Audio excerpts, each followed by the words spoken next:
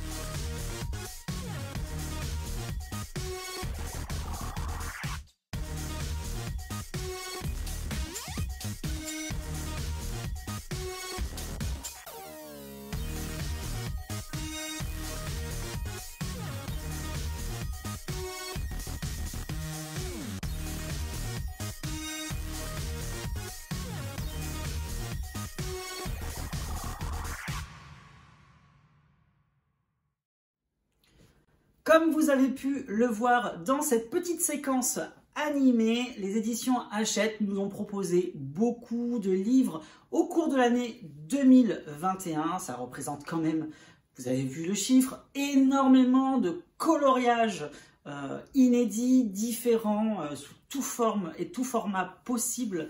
Donc du coup, euh, merci aux éditions Hachette Rose de nous permettre de, ben, de nous proposer un éventail de livres aussi importants tout au long de l'année et aussi diversifiés puisque voilà, comparé aux éditions des années précédentes, voilà, il y a quand même eu un gros élan de nouveauté et de fraîcheur, il faut bien le dire, dans les livres qu'ils nous ont proposés. C'est vraiment mon avis personnel hein, qui va être propre à mes goûts personnels qui va faire suite à cette vidéo. À aucun moment je ne vais me remettre en question ni en cause le talent de l'illustrateur qui a réalisé euh, ces livres-là. C'est juste par rapport à mes goûts personnels, à mes attentes et à mes envies de coloriage euh, que j'ai fait cette petite sélection de livres. Voilà, c'est vraiment par rapport ben, à ce que j'ai ressenti lorsque ben, j'ai eu les livres en main finalement. Je me suis dit, Ouais, ou alors, waouh, génial euh, Je vais vous expliquer un petit peu comment j'ai classifié mon top flop pour les livres de coloriage Disney de la collection Hachette Heroes, puisqu'on ne peut pas comparer un coloriage classique avec un coloriage mystère. Donc du coup, j'ai euh, pris les grands... Euh, les grandes collections qui peuvent nous proposer. Donc, je vous ai fait un top 3, c'est-à-dire je vous ai pris un grand carré, puisqu'il y a quand même une multitude de euh, livres qui sont sortis sous ce grand format carré. Vous parlez également des coloriages mystères sur lesquels je vais vous faire un top flop spécial mystère. Et ensuite, on va partir sur les blocs, puisque voilà, il s'agit quand même d'un format qui est très représentatif par rapport aux sorties 2021. On va commencer tout de suite avec le premier format, c'est-à-dire les grands carrés.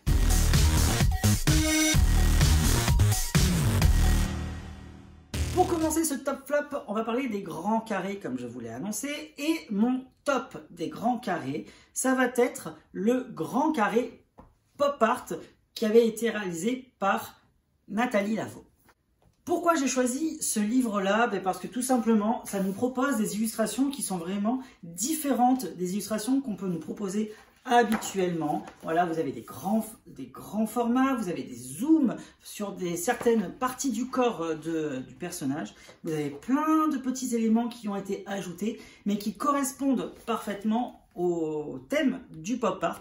J'avais déjà bien aimé le livre Pop Art qui était sorti il y a plusieurs années en arrière dans la collection. Donc voilà, c'est vraiment quelque chose que j'ai apprécié, que j'ai trouvé vraiment euh, très frais dans l'univers du coloriage, puisque voilà, ça faisait très longtemps qu'on n'avait pas eu de livre de cette manière-là. Ça change un petit peu des livres de coloriage classiques. Dans le même format de livre, je vais vous montrer mon flop. Cette fois-ci, c'est le mandala de Jean-Luc Guérin.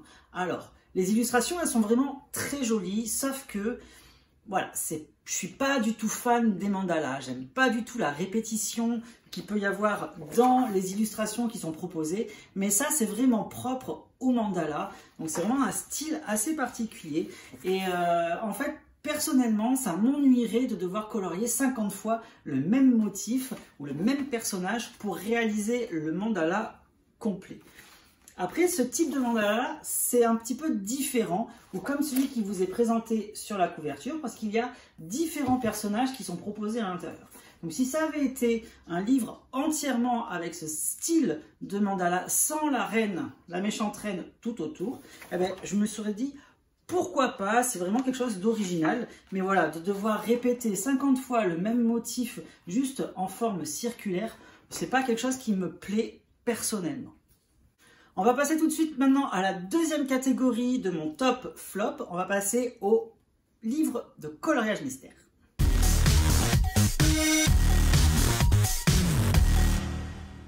Là encore, les éditions Hachette Heroes nous ont proposé un très bel éventail tout au long de l'année de livres de coloriage mystère.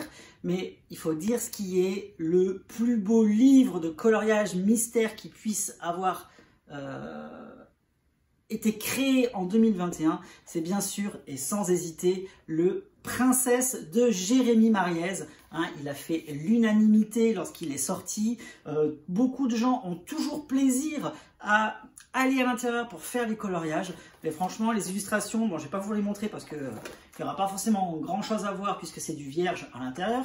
Mais voilà, les illustrations, elles sont vraiment hyper bien travaillées. Les détails, la minutie des détails même, il faut dire, de, par Jérémy, est vraiment mais, impressionnante. Euh, il fait en sorte de nous proposer une expérience de coloriage mystère ultime et optimale, puisque tout est étudié, tout est fait pour que vous euh, passez un agréable moment de coloriage. Et il faut dire que les illustrations, elles sont toutes magnifiques. Il n'y a pas un dessin qui est moche à l'intérieur. Donc, euh, du grand Jérémy Mariès pour ce livre de coloriage mystère. Mon flop coloriage mystère, ça va être un livre un petit peu particulier. Ils ont essayé, je pense qu'ils se sont loupés. Il faut dire ce qui est, c'est le bestiaire triangle magique.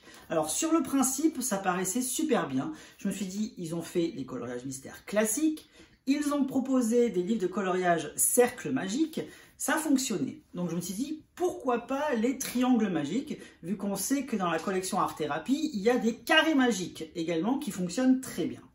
Donc je me suis dit, pourquoi pas Cependant, la couverture est vraiment superbe. Les illustrations que nous propose Sophie Leblanc à l'intérieur de ce livre-là, elles sont plutôt basiques. Il faut dire ce qu'il y est. C'est vraiment, il n'y a pas forcément... Euh, voilà, ça reste du classique, mais ça reste du classique concernant les livres de coloriage mystère, que ce soit aussi bien pour les cercles, pour les triangles. Hein. ça reste très classique à chaque fois. C'est pas forcément très abouti au niveau de tout ce qui est détail et arrière-plan. Sauf que là, eh bien, je trouve que ça ne marche pas. Pourquoi? Ben Parce que les couleurs qui nous sont proposées pour mettre en place les coloriages, eh bien, ben, je trouve pas ça du tout harmonieux. C'est... Euh, certains, ben, je trouve ça vraiment même moche pour, certains. Le rendu est quasiment moche pour certains. Et j'ai essayé de euh, réaliser un coloriage triangle. Et en fait, c'est très compliqué, même en mystère arrangé, d'avoir de, quelque chose de satisfaisant. Je pense que voilà, il faut vraiment se pencher sur des plus grandes zones, quitte à déstructurer un petit peu les triangles pour obtenir quelque chose de, joli et ne pas du tout faire attention au code couleur qui a été donné à l'intérieur. Donc je trouve que c'est trop contraignant parce qu'il faut trop réfléchir pour pouvoir faire quelque chose de joli visuellement. Et ces arrière-plans entièrement euh, uniformes et relativement larges, il faut dire ce qui est, c'est pas forcément non plus très très plaisant euh, à mettre en couleur. Il faut dire ce qui est. Donc voilà, donc mon top concernant euh, le, les livres de coloriage mystère de la collection Hachette Rose, bah, c'est ces deux livres-là, donc le Princesse en top et en flop, le Triangle magique. Je ne sais pas s'ils vont procéder à un volume 2, je pense pas parce que je le vois très très très très très peu tourner sur les réseaux sociaux, euh, ce livre-là. On va passer tout de suite à la dernière catégorie avant de vous annoncer mon coup de cœur ultime pour la sélection 2021. Donc on va passer tout de suite au grand bloc.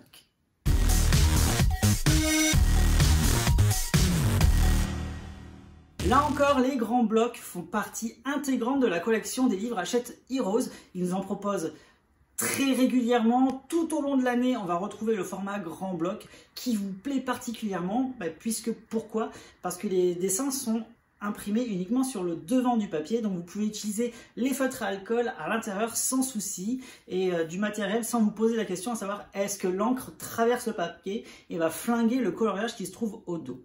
C'est d'ailleurs quelque chose qui est très bien aussi pour les grands carrés puisque c'est imprimé uniquement sur un côté du papier. Mon top concernant les grands blocs, ça va être le BFF que j'ai trouvé vraiment complet. C'est William Ball qui nous avait proposé les illustrations de ce livre-là. Donc voilà, vous avez vraiment tout genre. Donc j'adore celle-ci avec les petits martiens. Donc William Ball, hein, on le sait, nous propose beaucoup de motifs art déco à l'intérieur.